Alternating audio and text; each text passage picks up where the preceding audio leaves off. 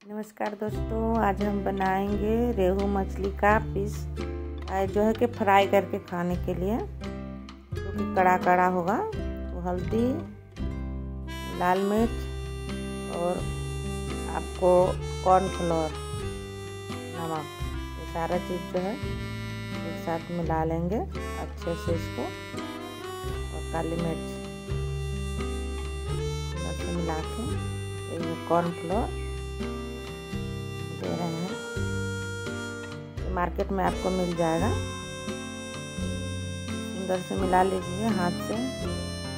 चम्मच से मिलाइएगा, नहीं होगा। आपको लगाना ही पड़ेगा।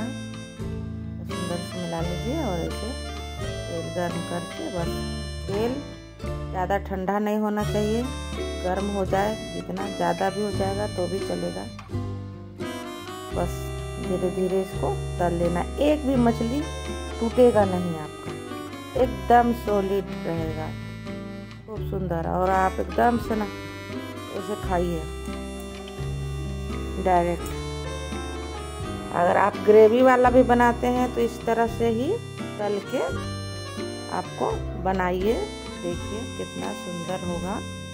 हाँ देखिए क्रिस्पी क्रिस्पी एकदम क्रिस्पी